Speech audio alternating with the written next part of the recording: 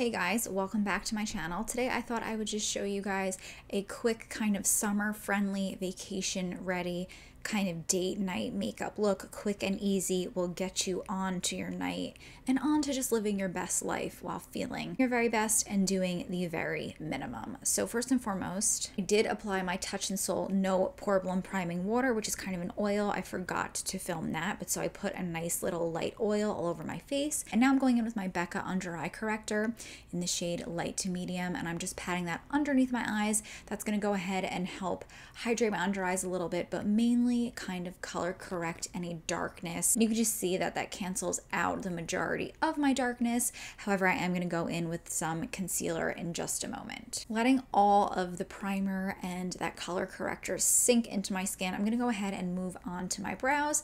And to fill them in, I'm just going to use my Joah Precision Brow Pencil.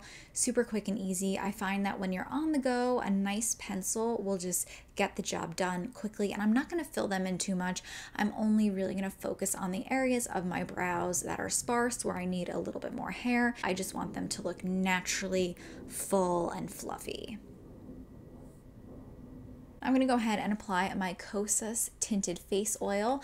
I believe I am in the shade 4. I will put all of the products and the shades that I'm using down below in the description as I always do, but I'm just going to go ahead and kind of just sweep that over that primer that I put all over my skin. I used this tinted oil throughout my vacation and I've come to the conclusion that this will seriously be my summer staple. It's just really light, dewy, delicious on the skin, kind just makes it a little bit more uniformed than it is and gives it just like the right amount of coverage and it doesn't feel like I'm wearing foundation. It genuinely feels like I'm wearing skincare. So if you missed my full day wear test on this product, I will go ahead and link it up here as well as down below in the description.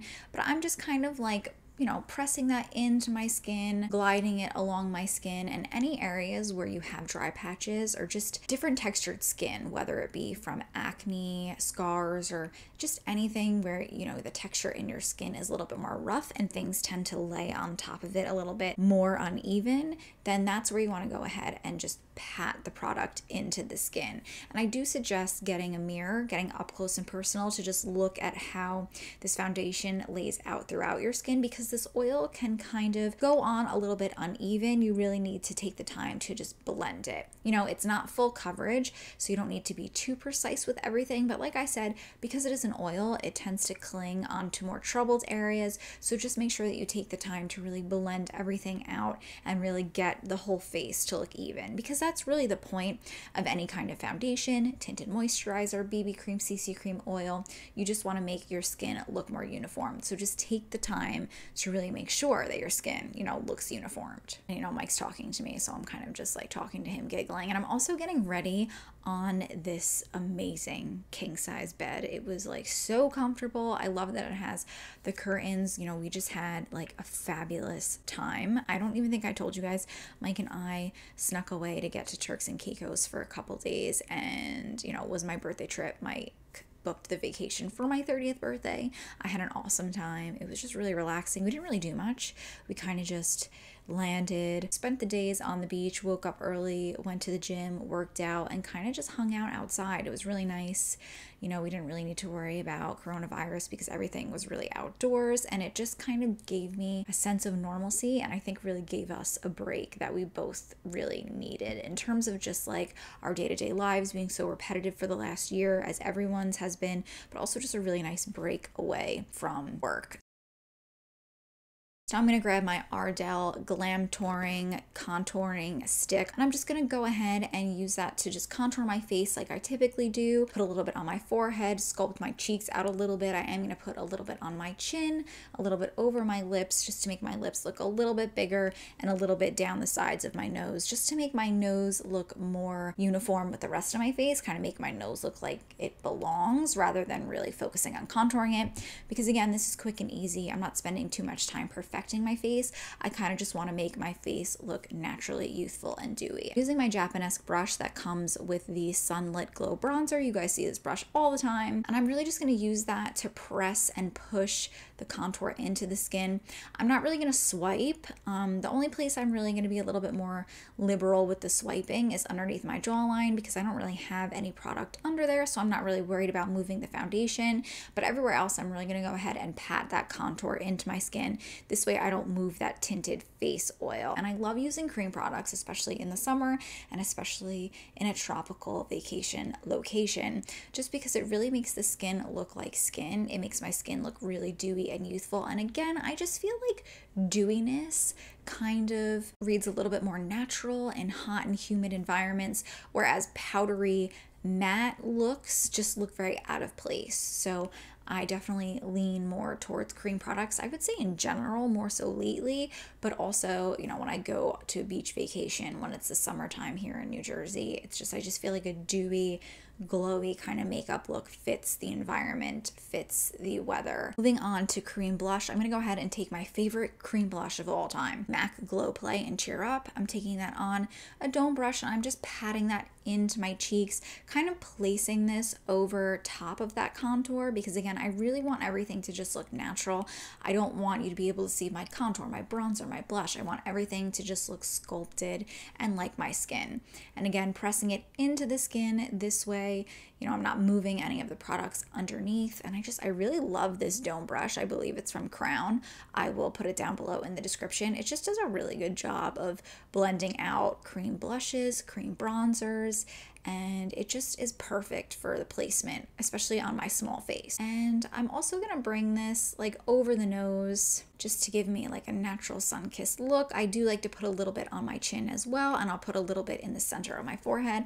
I like to think of cream blush as more of a complexion product. I've said this so many times, but just to give a little bit more juiciness, um, a little bit more youthfulness to my skin rather than just placing it on my cheeks and using it as blush. Use things in other places can kind of make the whole makeup look look a little bit more cohesive. Grab my, I'm pretty sure this is the Jouer 2-in-1. It's like a foundation concealer, and I'm gonna focus that really on the inner portion of my eye where I have that darkness, right underneath where my bag is the darkest, and also on the outer corners of my eye. And again, I'm just gonna push that in with my Sephora 57 brush, and I'm gonna use a really light hand. I'm just stippling, pushing, taking what's ever left over and using that over top on my lid as kind of like my eyeshadow primer. And yeah, I wouldn't suggest this if you're like a full coverage kind of babe, but again, I do like this. It's thin, it gives just enough coverage, and it doesn't look too cakey underneath my eyes, which I have very dry skin underneath my eyes, and sometimes that can happen. I wouldn't say this is like the best concealer I've ever tried, but I think in the summer it just does enough, which is really what I'm looking for in my makeup routine, just something that does just enough. And then I am going to use my Narcissus Wanted palette. This is no longer sold in stores, but I'm just using like a really light brown. You can pretty much find in any and every eyeshadow palette that you own as long as it is a neutral. And I'm taking that with a fluffy brush and just running this into the crease, going back and forth in those typical windshield wiper motions. I'm not going to go too in depth with the eyes, but I do want to just give a little bit of depth to them, make them pop a little bit. Um, but yeah, I'm not going to do anything too crazy. This is definitely beginner friendly in terms of eye makeup. Take that same color and run it underneath my eyes. This is just something that I like to do. It just helps to make the eyes pop a little bit more, make them look a little bit more noticeable, and just give them a little bit more definition. Green shimmery shade on a flat brush. This is a Morphe Jaclyn Hill brush, and I'm just gonna pat this all over my eyes. You know, this isn't a very potent green, but it does give a really pretty light metallic kind of brownish green. It's a really interesting shade. I've actually never used this shade before from this palette, so I was tempted and really wanted to try it. And I just think it gave a really nice wash of color and uh, it looks beautiful with that brown. So I'm just putting that all over the mobile lid. Shimmery shade. It's not as shimmery and glittery as the green, but it does have a little bit of a sheen to it. Using the same brush, I'm going to pop that underneath the brow bone. And then I'm also going to pop it into the inner corner of my eye as well.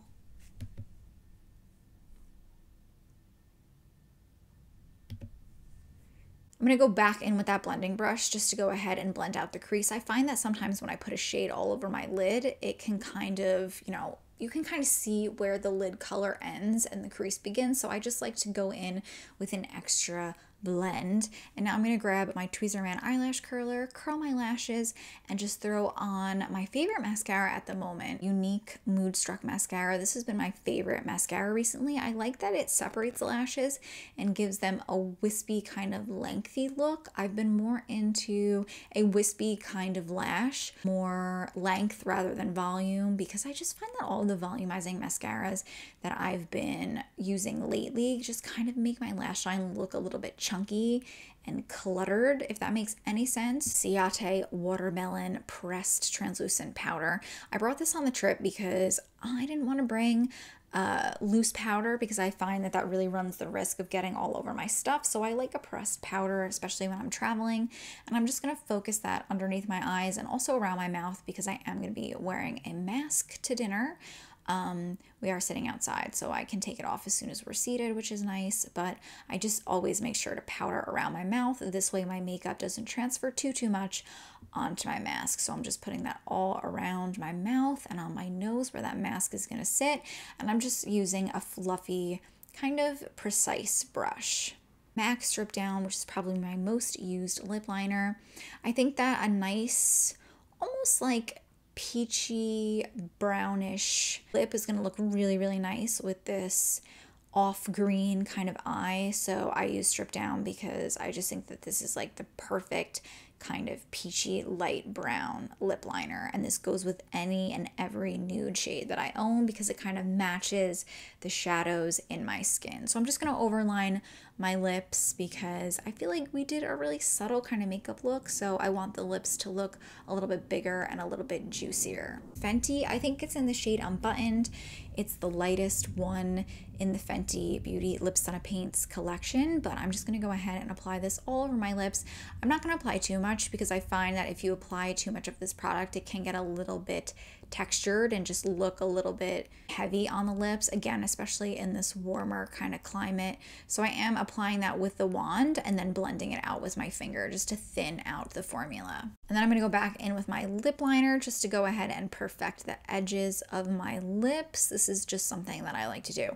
I find that most people go in with a lip liner, then throw a lipstick on, and then they're done. But I always go in with my lip liner again just to go ahead and perfect anything. I find that sometimes things can go outside of the line. So I just like to go ahead and just perfect my lips. Hold my hair back, put on my hoochie hoops, which Mike bought me for my birthday, which I am obsessed with. I literally like wear them every day. I wanted to show you guys what it looked like in daylight, just very natural lighting, even though you guys saw me apply it in pretty natural lighting because I was literally sitting on the bed in front of a window. So this whole video has been natural lighting, but I really wanted you guys to see what this looks like during golden hour. Is that what it's called? I think that's what it's called.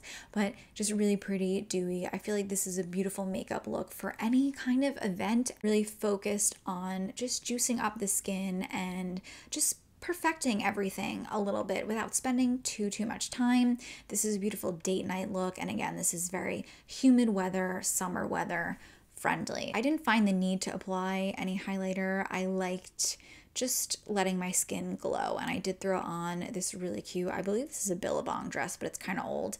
So I just threw that on. This is my look for the evening, and I am standing on the balcony of our hotel. So I wanted to show you guys what our beautiful view looked like for what felt like a 30 minute lunch break. We were there for four days, but it like flew by so quickly. So this was our beautiful view, and oh my god, I wish that we were still there. And then this is me soaking in the last few minutes of the day. Oh my god, this was like the most relaxing trip I think I've ever been on. It was just really, it was it was so nice to just get away. I was like really in my element. I was so happy. If you enjoyed this video, make sure to leave it a big thumbs up also, be sure to subscribe and click that bell button if you have not done so yet, guys. I had a wonderful time as always. I'm wishing you a really great night, a really great day, whenever it is you are watching this, and I will see you in my next one. Bye, Finders.